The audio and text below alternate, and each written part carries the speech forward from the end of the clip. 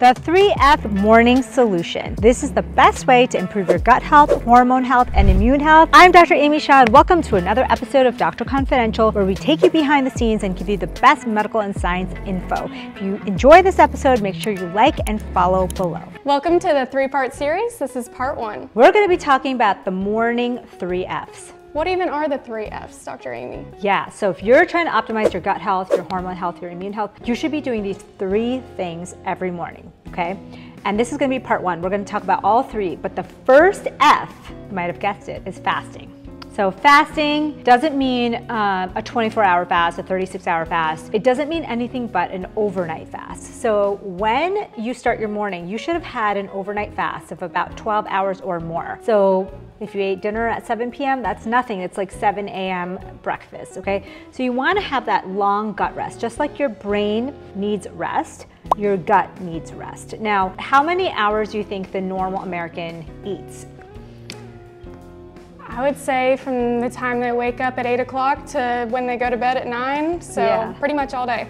Yeah, so you'd think it would be like 12 hours, but it's actually like 16 hours. There's only an eight hour break that Americans typically stop eating. And what we're learning is that circadian rhythms not only run our brain, but it also runs our gut. So our gut, about two to three hours before bed, gets the signals from our body, from our hormones, that it's time to wind down. So when you have a huge late meal late at night, what it does, it kind of short changes that healing process. Our body's like, oh wait, I thought we were healing, we were turning off the digestion and start focusing on healing.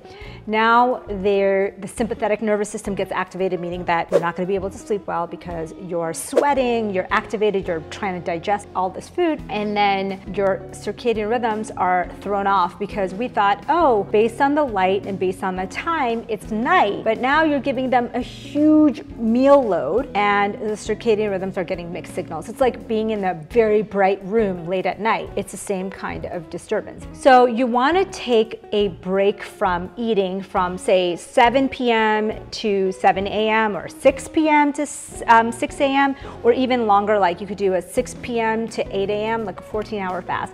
Uh, do you fast typically? Not typically, but I'm trying to get into it. So this is really good information because I haven't done it before. So where would you start? Yeah, I think um, this is such a good topic because I think most people think fasting has to be 16 hour fast or 18 hour fast or 24 hour people ask me all the time, like, you talk about fasting, but you don't even do long fast. And I don't usually do, except for a quarterly fast, 24 hour fast, I'll do like once a month and maybe a little bit longer quarterly. I don't really think you need to do long fast every night. If you want to optimize your hormones, especially as women move through middle age, 40s and up, this can help you balance your hormones. This can help you optimize your immune system. This is a great way to um, improve your metabolic health. So if you're someone who wants to lean down through fasting, you do have to watch what you're eating. So it's not like you can just automatically eat an early dinner and you're going to be thin. We do know that if you eat an early dinner, um, you tend to eat less calories in the day. You tend to eat better calories calories in the day. And I found working with people that when you eat an earlier dinner, you make better choices because nobody eats healthy food after 8, 9, 10 p.m. Yeah, definitely. That's like junk food. Central. Yeah.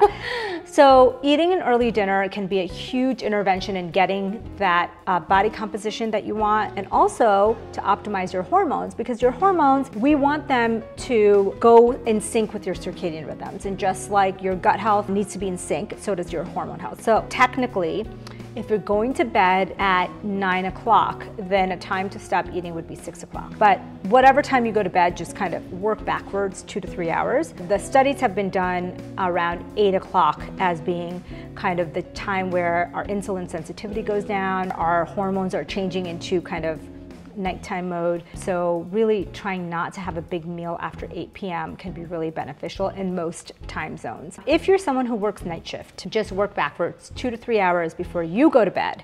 You wanna stop eating and you wanna have a 12 hour gut rest. Okay, so if I nurture these circadian rhythms, I nurture my hormones, I nurture my sleep schedule, I nurture my gut. Yeah. Pretty much, right? Yeah, but your gut bacteria actually have circadian rhythm. So people don't even understand that these bacteria that pretty much protect our gut um, from viruses and inflammation and help our body communicate with each other, it has a circadian rhythm and they need sleep and they need rest. So gut bacteria are like any living things and they have circadian rhythms also. So this can be really good for people who are having digestive issues or you just want to age in a healthy way or someone who's really trying to optimize their body composition. So if you're someone who's like, I want to get into the best shape of my life, you really want to start circadian fasting is how I think of it. People often ask me like, what can you have while fasting?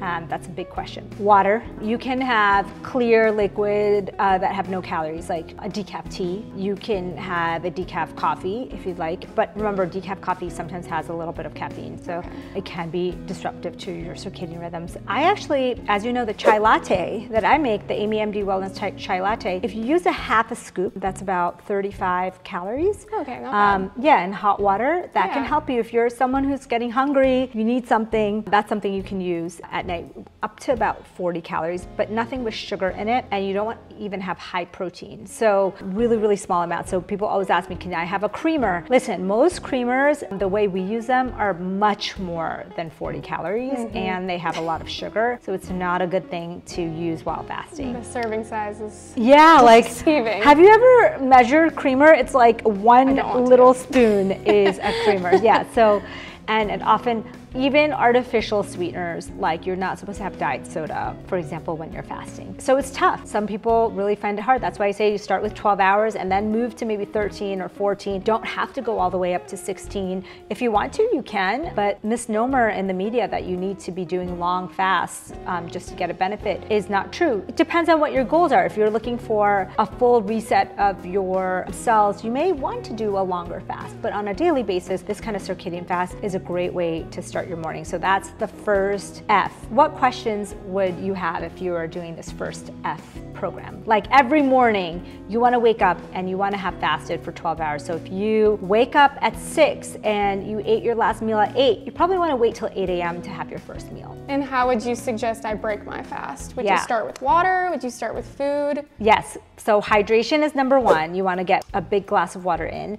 And then the third F is actually what we're gonna be talking about, how you exactly break your fast. I don't wanna go into full detail, but I will tell you okay. like we wanna have fermented foods, like a probiotic food, fiber, and protein in your first meal after you break a fast. Now, you don't have to do anything special when you're breaking just an overnight fast. Like a lot of people that are doing long fasts, they have to start with soft or like soup-like foods in the beginning because their body has been fasting for so long, but you don't have to do that with just an overnight fast. So one of the other reasons to do an overnight fast is someone who has PCOS or high insulin levels or high blood sugar. They're trying to get their blood sugar down. So this can all be really, really helpful for all of those people. Amazing. I guess we'll have to get into it in the next two episodes and see what else we have in store. Yeah, three part series. So this is step one of three steps that you should do every morning. This is the way to really optimize your aging, your hormones, and your gut health and your immune health. So thanks for watching, guys.